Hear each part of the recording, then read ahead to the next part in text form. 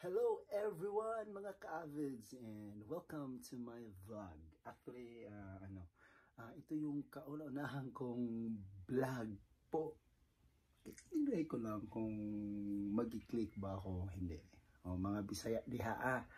Unta nga inyo akong i-subscribe sa akong new channel kay kunuhay mag-vlog daw kunuhay ko pero dili ko siya mag-vlog. Magre-react lang ako sa mga mga mga beritero natin dyan, mga beritero natin dyan, yung mga uh, sikat na mga singers na nandito sa Pilipinas ngayon. So, ang una kong i-react po ay syempre our very own pop star royalty, Miss Sarah Geronimo.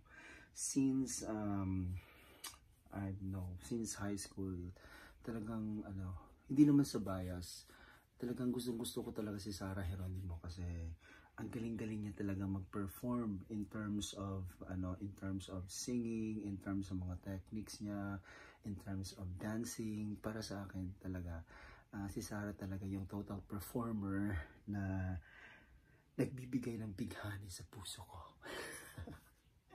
Kaya ito na. Kaya yung vlog ko ngayon um, Uh, kasi first time ko pa eh, parang wala pang mga ano dyan eh, yung mga effects effects pa dyan. So, dediretsuan ko na lang muna.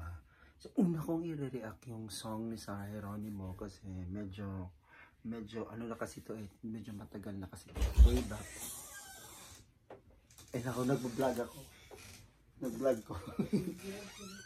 um, na, uh, way, ano, yung 15 years old pa siya, kinanta niya kasi to eh, yung, yung kanta niya, ano, yung It's All Coming Back to Me ni Celine Dion.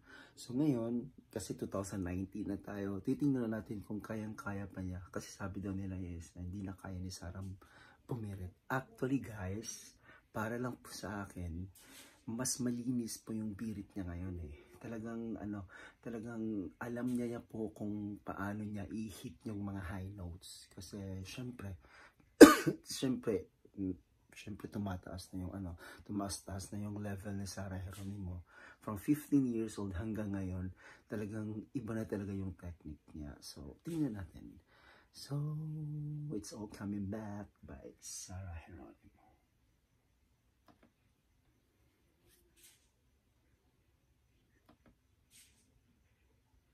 Mm-mm, pa siya guys. Sorry. so, biglang ano. Ano ba ito? Hindi pa kasi medyo. Saan ba ito? Saan ba ito guys?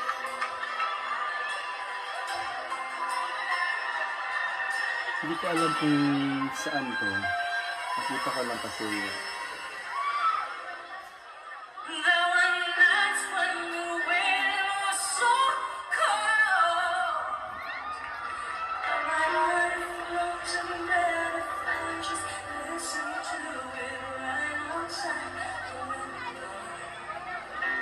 mas maganda yung technique na yun.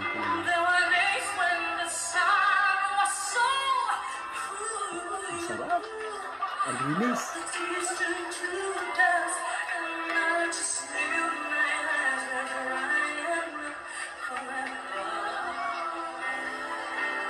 Ang ganda naman sa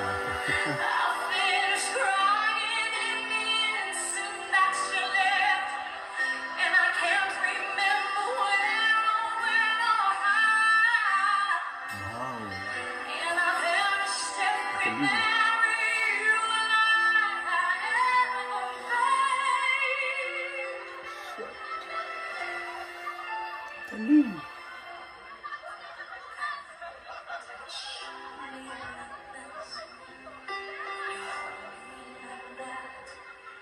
I just have to admit that it's coming back to me you touch me like this. Whew.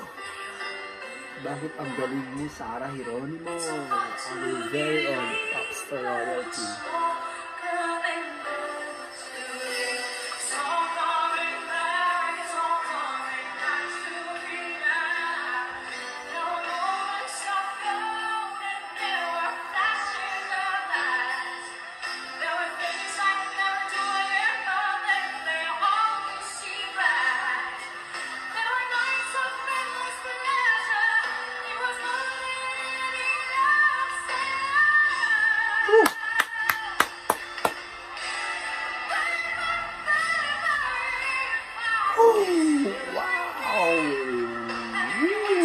galing!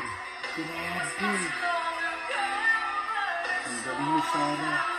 Ibang yung tatigalaw niya, ang linis. Mga ka-average, ang galing ng Sarah Heronimo natin.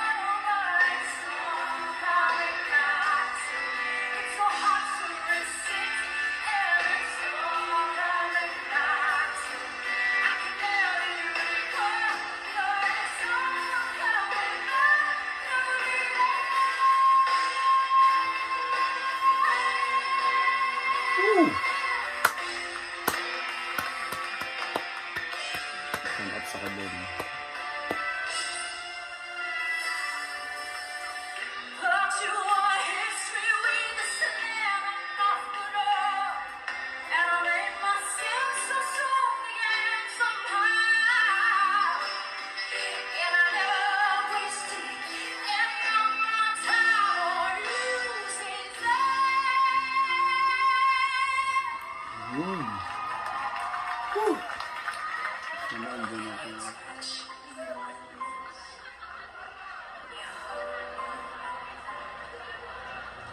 It's hard to believe that it's all coming back to me. It's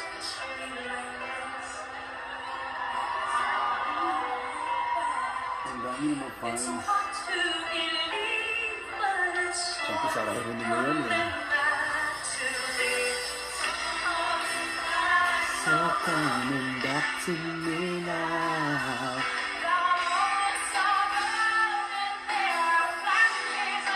Katunod niya talaga si ano eh, si Celine Dion. Siyempre, may, yung may marka talagang, yung boses niya talaga, ito lang si Sarah Geronimo na yan. Ang linis ng ano niya, guys. Mga ka-average, ang linis talaga. See?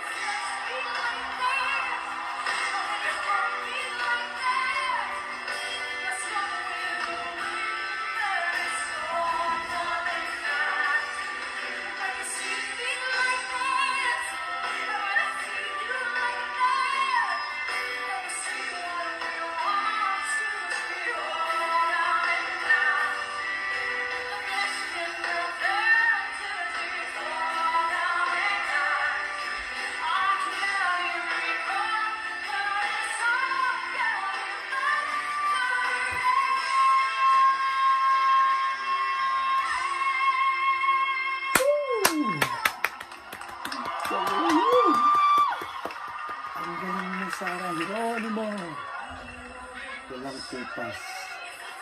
Grabe mga ka-awards. Iba-iba talagang level. Pag Sarah Geronimo talaga, nabibigyan mo talaga niya ng justice eh. Imagine, 15 years old, kinanta niya tong antang ko. Hanggang ngayon, talaga, slay. She nailed it.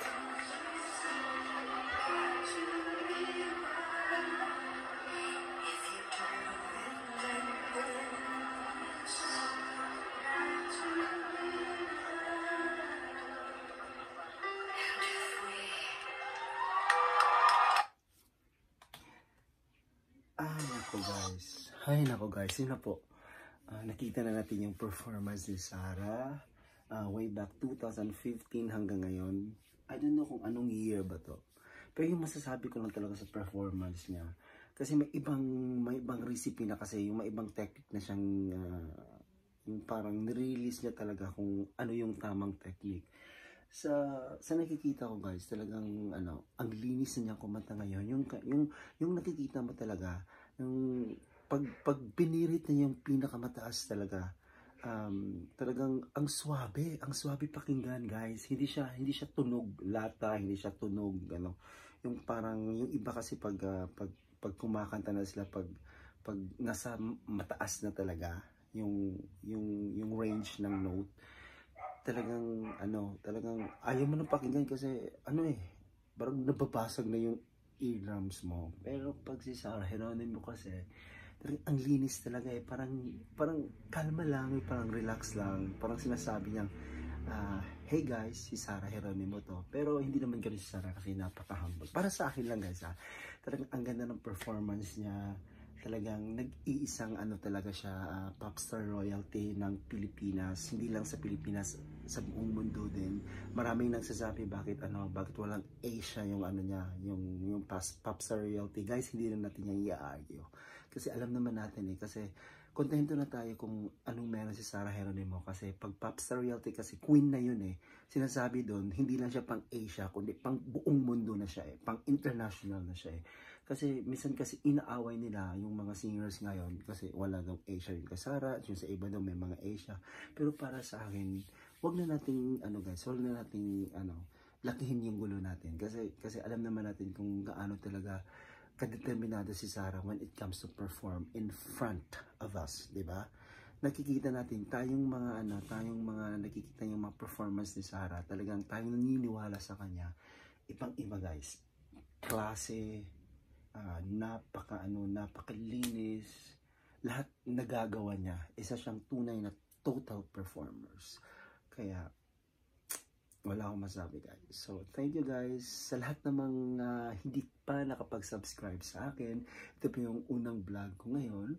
Ah, unang react ko ko pa pala ngayon. Sorry akong bulol-bulol ako mag-Tagalog. Bisaya kasi.